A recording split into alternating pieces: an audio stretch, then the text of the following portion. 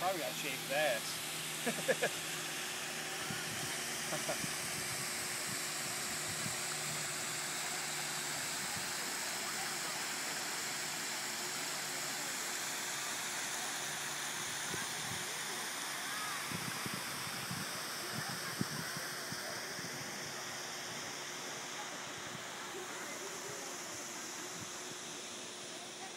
You know, when you get downtown, man, I wanted to see the Hollywood sign.